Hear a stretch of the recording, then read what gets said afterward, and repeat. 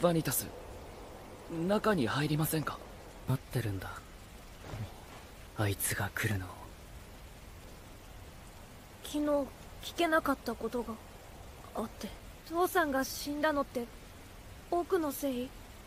ぜ全部全部僕の。違う。俺が殺したんだ。あの日ルーナは何者かによって神明を奪われた狂った化け物になりかけていた。だから俺があいつの眷属になってあいつの力を使ってあいつを殺した。これが事実だ。俺が呪い持ちを治療するのはルーナの神明を奪った何者かの痕跡を見つけるためだ。当月の吸血鬼の存在はそのかけらまでも全て消し去る。